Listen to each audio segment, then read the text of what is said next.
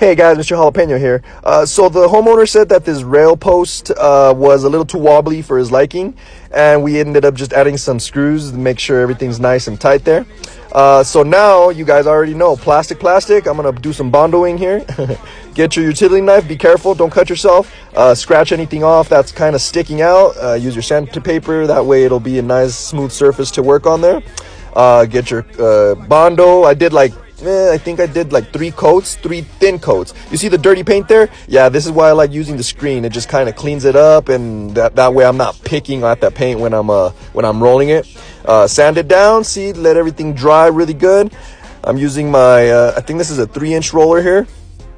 Uh, and there we go. See, you could still kind of see it, but I put my heat gun so I could do. I think I did like three coats of paint.